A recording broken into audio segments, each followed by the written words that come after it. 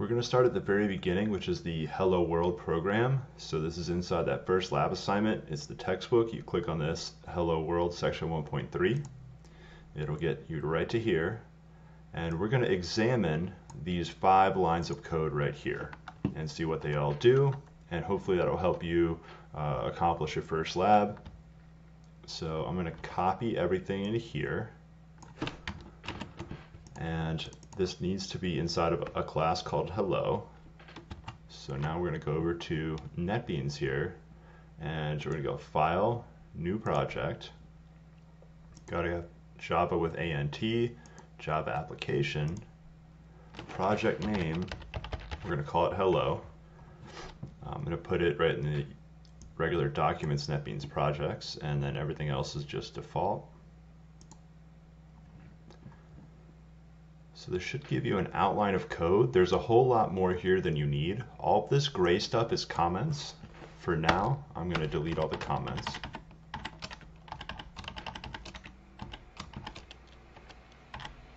So we have five total lines here. Now I'm going to bring back the hello world in here. Now there's one line missing, which is the package name. There's no package listed above public class hello. So again, I copied all this already. We're going to go back to NetBeans. What I had highlighted is going to replace everything that I have highlighted here, and what's left out is the package. And that's important in NetBeans that you leave that package in there. So I'm going to delete what was in there and paste what I copied out of the textbook. And then we're going to go ahead and hit run. And this needs to print out hello, comma, world, exclamation point. And that comes from this line number seven right here. If you hold down Alt and scroll, unless you make the text bigger. So we're going to examine this line by line. I also do not need any of this gray, uh, these grayed lines, which and here is line number six. We can take that out. So we'll start at the top. Package just says what package you're in. It's a way of organizing several Java files. We're not going to have several Java files for a little while. So our package will just be the same name as the, uh, the class. So our first, uh, our next line is line three, public class. We'll explain that later. Uh, hello is the name of this class, and it's really important that you pay attention to this open curly brace or a left brace. Now I highlighted it, it automatically highlighted the matching brace down here. You can also see that happening because in the indent here, there's no indent before this word public. There is an indent before this word public, and it's right there, I highlighted it. And if you look, you have an indent, and there's another indent here, and another indent here, and what that tells you is all these lines right here are in one block. And that's super important. That's how programs, uh, the structure of programs uh, makes sense. So this public class hello starts here and it ends here. There's one block inside and most blocks, NetBeans lets you collapse the blocks or collapse the blocks down to one single line and it just tells you, hey, there's four lines hiding in here. So I'll open that back up. You can put a little bit more space. You can always put more space in. I'm going to take this uh, blank line out. All right, let's look at the next block and public static void main. Uh, this is a method. Uh, you do have to have all of this inside of it right here. And this line ends with a curly brace as well. And this is a left curly brace, meaning that there needs to be a right curly brace that matches it, and it's already highlighted for us. And what's inside the next block, so this starts a block here, ends a block on line 7, which means line 6 is inside the block, and if you look, that has one extra tab to the right. And in here, this line of code, this is an actual statement, meaning it, it does something, as opposed to being more organizational. And this one prints out hello world. Now if I want a second print message, I can definitely do that. Uh, one way to do it, you can highlight the whole thing, copy, control C, And if you're wondering where these are coming from, they're in the edit menu. Control C is copy, paste, Control V. There's lots of other commands up there you can check out. And now I'm going to run this again. So it should produce two lines of output. It's not very exciting because they're both the same. So I can just say goodbye world and run this again and you'll see hello world, goodbye world. All right, as your code starts to get a little more complicated, your first lab has four print statements that need to make it inside. You can just paste, paste, and edit what's inside the double quotes. That's called a string. Uh, I'm going to intentionally cause an error.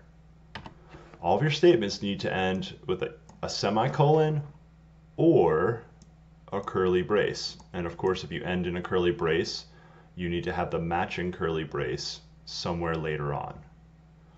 So there's a problem right here. Sometimes if you mouse over the error, it gives you a very good description about what's wrong. There's a semicolon expected. And where does the semicolon go? Well, right where I deleted it from. Uh, likewise, if I delete uh, parenthesis, it's going to tell you. Sometimes it's very, very useful. It says right parenthesis expected. So we'll drop that in. And same thing if I delete. Now, if I delete the quote, this string, if you look, it's kind of this orange brown, doesn't actually end. And now it says unclosed string literal, meaning you started a string and did not end a string. You could quote at the end, but if you look, that means that these two things that should be outside or to the right of the string are now inside the string. So I have to now match the parentheses, which just happened right there. If I put an extra parenthesis in, it's right there red in your face. It doesn't match anything. And now I also need the uh, semicolon, and I could run this again. And you'll see that the uh, parenthesis and the semicolon made it into the print statement. You can, of course, change the content of these print statements, absolutely. Uh, there's another way, well, there's a million ways to make your program not run, but I'm going to delete the closing brace here. And now it says there's a problem down here, and the error said reach end of file while parsing. And what that means is, while, when it got to the end of your file, it's found something unexpected. So I was expecting to see two right braces down here. So let's go ahead and put two right braces in. This is not a very good way to do it in terms of uh, they should each be on their own line and one of them should be indented more. So there is a way to fix this automatically. This will run right now and produce the same exact output, but what, I want to do is get it back uh, so each brace is on their own line and the tabs are correct. So we're going to go to source and format. You can also push Alt Shift F. And again, what that did is it put my closing brace here by itself to close that brace. And then down to the next line, one less indent, it closed the brace up at the top. And again, if we're looking at indenting, this right here is indented, uh, it's not indented or indented with zero spaces. This one is indented with four spaces. And then of course, you can see very clearly that these four print statements are all indented with eight spaces or two levels. And because they're indented two levels in, what that means is they're inside of one, two blocks, two nested blocks. So hopefully that uh, explanation of structure is going to help you lay this out better. Uh, your lab, the original text for your lab is uh, intentionally garbled so that you have to figure out little issues uh, like for example changing the order of these right here. You have to close you have an opening parenthesis that needs to match and it's telling you right here if you highlight it that the right parenthesis is expected. You do that. Uh, and then you need a semicolon to finish that line. So every line you have should end uh, with either a semicolon for statements or uh, beginning a block is a left brace, ending a block's a right brace, and again, beginning a block's a left brace, ending a block is a right brace.